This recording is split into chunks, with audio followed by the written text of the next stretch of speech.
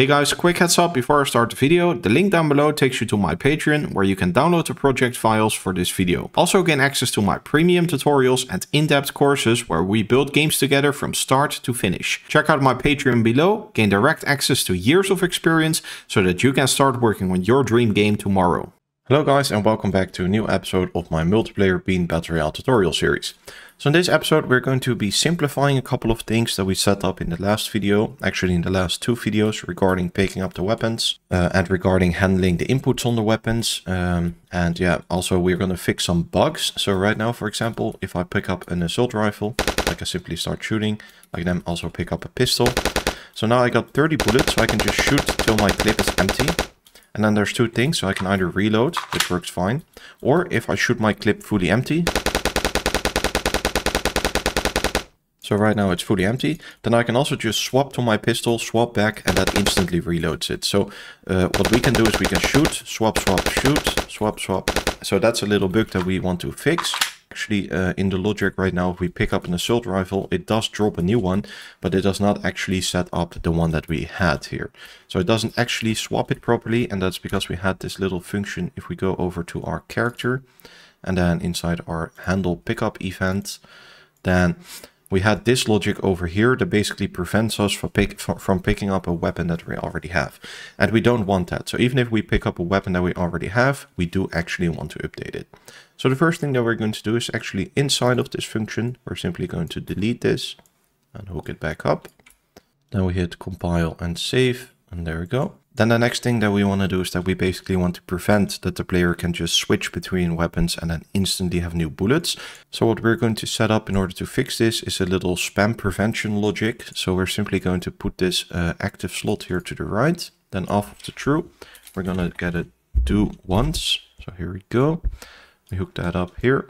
And then this one goes behind here. Then here we will get a simple delay of let's say one second. So this needs to be equivalent to what your maximum reload time kind of is. And of course, guys, keep in mind, we're working with a bean battle here. Typically, you would have all kinds of animations. So you would just have, have actual weapon swapping animations. And because you would typically just have weapon swapping animations, then you would never actually be working on stuff like this. So in PUBG, for example, when you put one gun, when you when you hold one gun and then put it on your back, that automatically takes about one second. And then that already automatically fixes the whole spam prevention stuff. So this is, of course, very custom to this project. But uh, this is a, a, simple way to fix that the player can just spam and, and cheat that inside of this Bean Battle Royale. So then we hook this cable up like this. So basically, what does this do? Well, whenever the player presses slot 1, so that is index 0, we check if we are not already in index 0.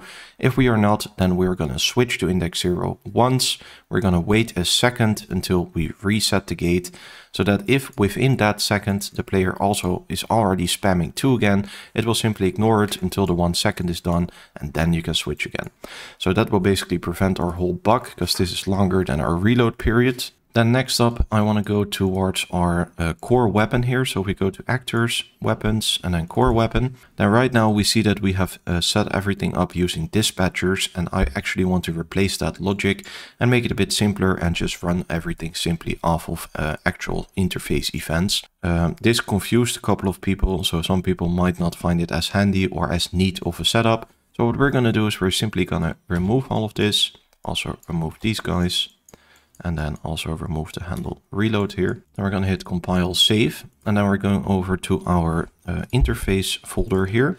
We're going to right click, go to blueprints, blueprint interface, type in bpi underscore inputs, open this guy up. Now our first input is going to be input underscore reload. Our next input will be input underscore primary uh, action rest we're going to copy paste the name and then our next input will be primary action released. There we go. Then hit compile save. And that's that. Then here on the uh, core weapon, we're going to click class settings, go to interfaces and then type in BPI. And then we want to select our BPI inputs here. That gives us the interface events. So we're simply going to double click the pressed, the released and the reload.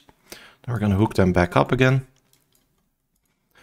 So our reload is supposed to go in this one. And these guys, they go all the way up. So they go over here. So our pressed event goes into here to make it pressed and our released goes into here to make it released. Then we hit compile and save and there we go.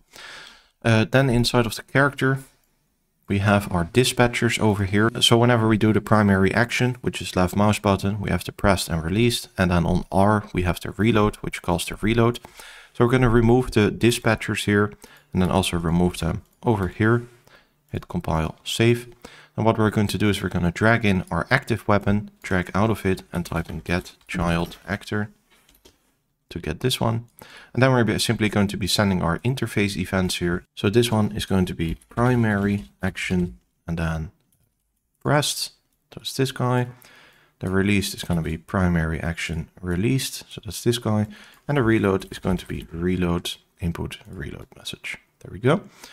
Then we want to move these guys a little bit more to the right here.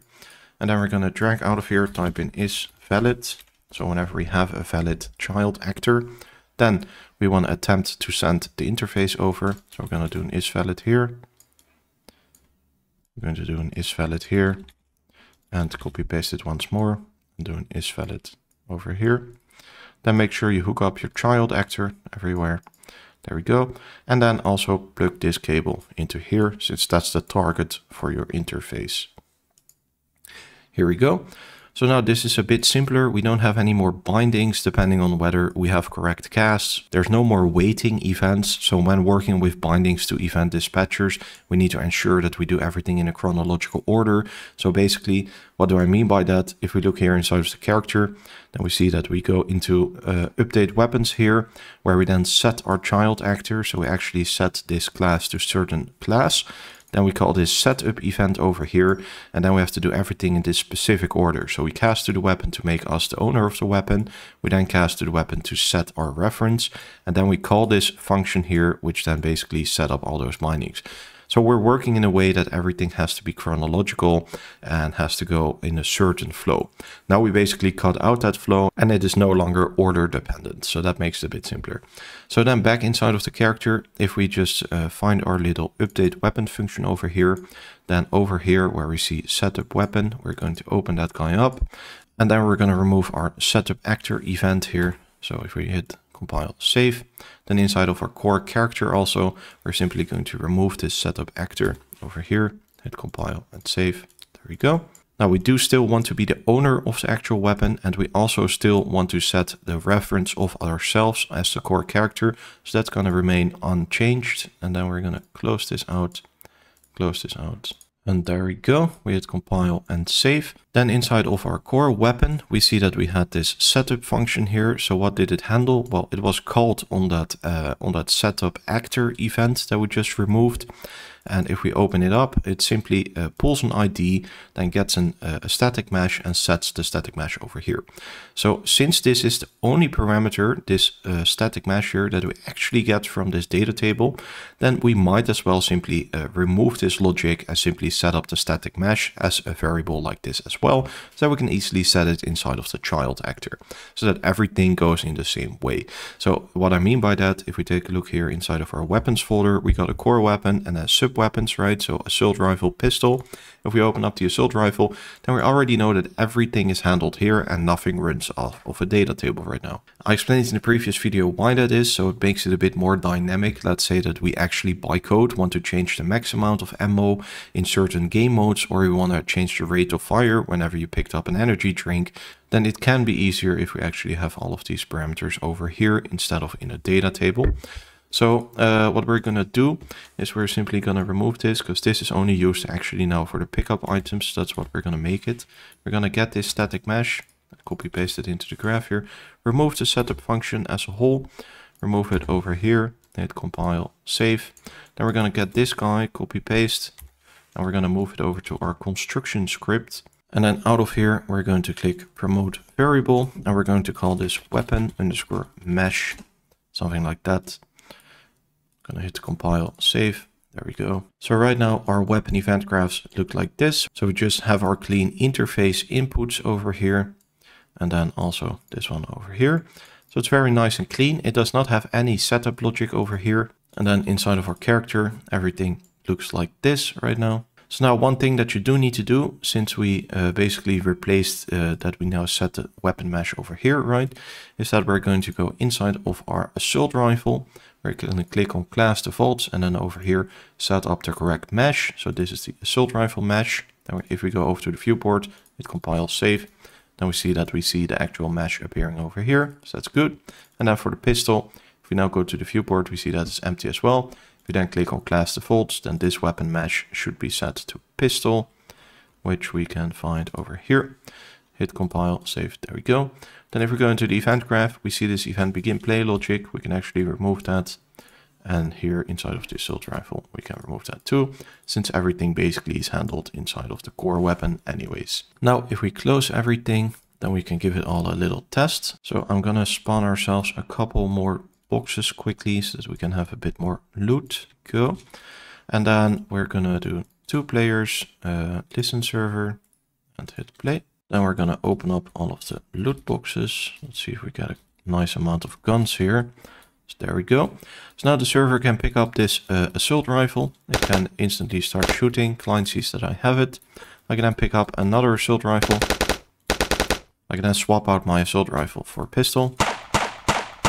So then if I uh, take my assault rifle in hand and shoot, swap to my pistol, and then I spam that I want to swap back to my gun again, it prevents me from doing that. So it's a one second prevention time, so you got to be quick if you want to catch it. But here we go, we shoot, and then I, I keep spamming too, but it takes a second before it actually switches. So that fixes our infinite reloading bug. Then the next bug that we had to fix is that uh, with a weapon, I should actually be able to pick up a new weapon. So if we're to close, if we're to empty out this whole clip, so we're just to shoot, shoot, shoot, shoot, shoot. And then the clip is fully empty. If I then pick up a new weapon, I got a fresh clip again because I picked up a new weapon. Then for the client, we're to test the same. So the client picks up the assault rifle, shoot, client can reload, client can pick up a pistol, client can swap and then not instantly swap back. And then the client can empty out this clip and then swap over to a new weapon start shooting with that one again. Alright guys, so that's it for this video. We simplified a couple of things. We made everything a bit more organized and neat for our little Bean Battle Royale multiplayer game here. I hope you guys enjoyed this episode. If you did, hit the like and subscribe. That helps out the channel. If you want to check out the project, you can download it on my Patreon, where you can mess around it yourself and perhaps make some changes or additions to the project. And I'll see you guys in the next one. Bye.